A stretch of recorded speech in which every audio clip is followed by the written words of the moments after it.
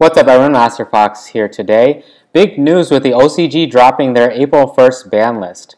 With this, I think the TCG will have a ban list up soon as well. I expect one to come out maybe a week or two after Premium Gold 3 comes out, but we'll see when that time comes. Now let's take a look at these changes. There's a lot of them. Forbidden, we have Performapal Monkey Board, Lavalval Chain, and Life Equalizer.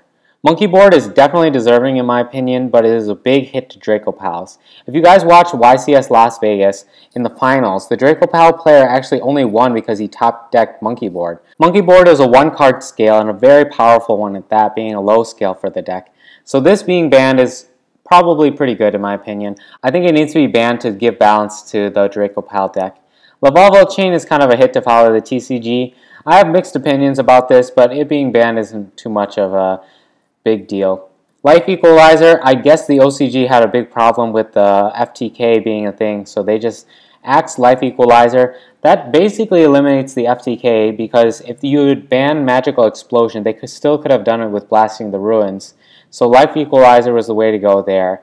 I'm sure there will be another FTK that pops up in some time, but Life Equalizer being banned basically kills off that version of the FTK.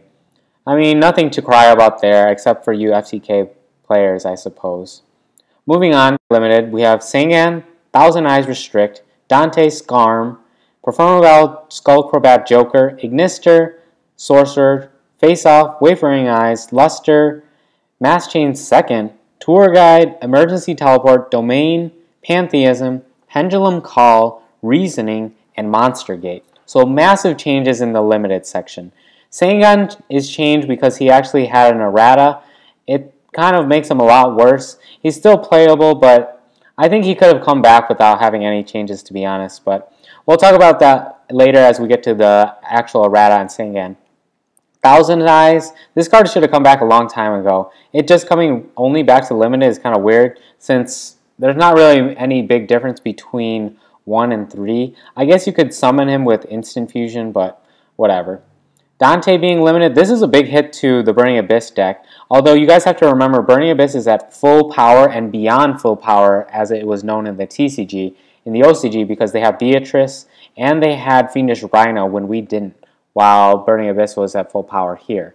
So they opted to hit Dante and Scarm as their hits to Burning Abyss. So they still have Graf and Seer, which even though it's kind of bad because you only have one Dante, you could theoretically still loop your Dante and then summon Beatrices on top of the Dante, detach the Dante, and then detach a Seer later, loop the Dante back, and still summon multiple Beatrices. So I don't think Burning Abyss is quite dead, although they did get heavily axed.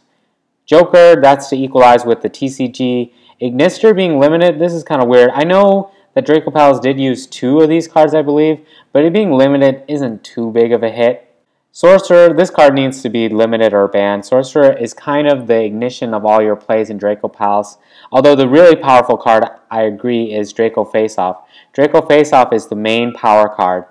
Now, Wavering Eyes. Finally, finally, this card sees some hits on this list. This card was deserving for a long time, and seeing a hit is fine. Luster Pendulum, this is to equalize with the TCG. It deserves its hit as well. Mask Change second is really, really odd to me. Although I do know kind of the reasoning behind this.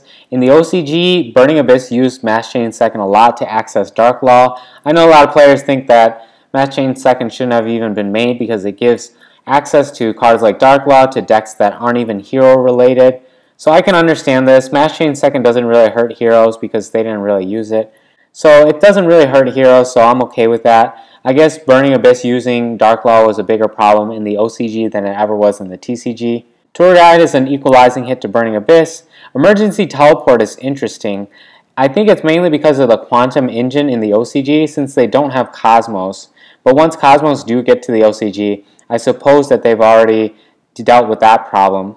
Now for Monarchs, I think Monarchs are basically dead with these hits. Domain eliminates their consistency as well as their lock.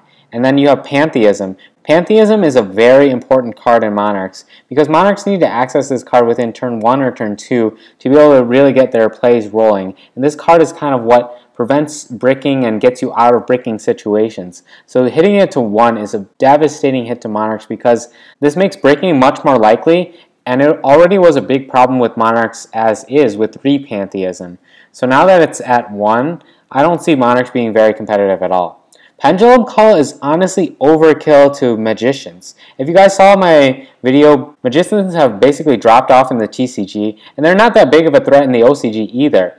And if you guys recall, I believe in the OCG, Wisdom Eye is at 1 as well. So now they have Pendulum Call at 1, Wisdom Eye at 1, and Joker at 1, which essentially makes Magicians utterly worthless as a deck because they're lost all sorts of consistency via Wisdom Eye, Joker, and Pendulum Call. I don't really understand this hit, but let's move on. The hit Reasoning and Monster Gate as well. I don't know what decks in the OCG were using that, but I guess if the TCG follows suit, Infernoids will not have a very good day. Now moving on to semi-limited, we have a single Super Rejuvenation. I think Super Rejuvenation was limited for a long time, and now they're kind of moving it up. This is probably to push Blue Eyes White Dragon, the deck, in the coming set, I think. I don't really know why it's moving up. Honestly, I think it can move up with the Dragon Rollers gone, but it's kind of a weird semi-limited. Anyways, let's move on to the unlimited cards. We have Glow Bulb, Kuribandit, Malicious, Abyssteus, Mind Control, Book of Moon, Gold Sarcophagus, Allure of Darkness, Dragon's Shrine, and Crush Card Virus. Glow Bulb, this card should have moved up a long time ago. Kuribandit, same thing. The TCG never really had a problem with this card. It was way back when Mythic Rulers used it or something like that, and they hit it. Also, Shaddolls used it. Actually, I think it was Shaddolls that caused the hit in the OCG. Malicious, I think the OCG was only afraid because they have Stratos, but that's a ridiculous fear with all the new stuff we have here. Mermail Abyssteus moving up. It's kind of strange. The OCG had a much different way of hitting the water deck compared to the TCG, and Abyssteus was one of the ways they hit it. They have Diva at 3, I want to say. Don't quote me on that though, but I think they have Diva at 3.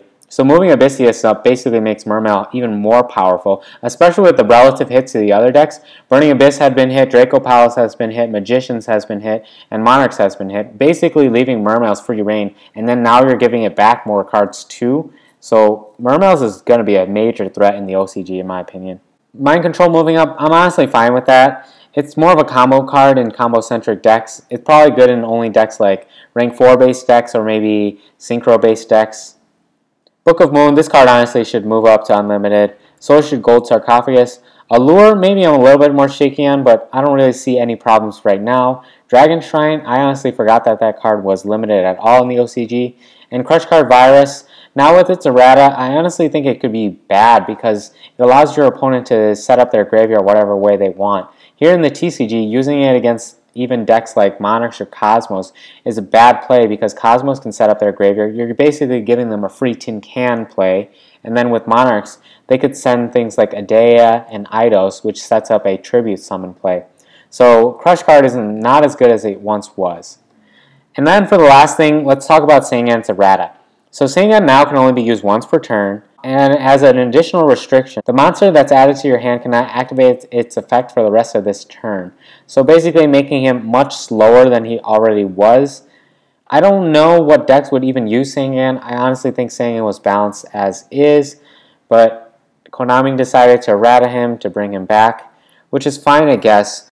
The only thing I have a problem with is most decks already have a more powerful searcher than Sangan that's in archetype as well. I can't see many meta decks opting to use Sangan over their in archetype searcher, but whatever. Konami decided to errata him and now he's back in the OCG at least. I don't see him coming back in the TCG in the next list, but maybe in the near future.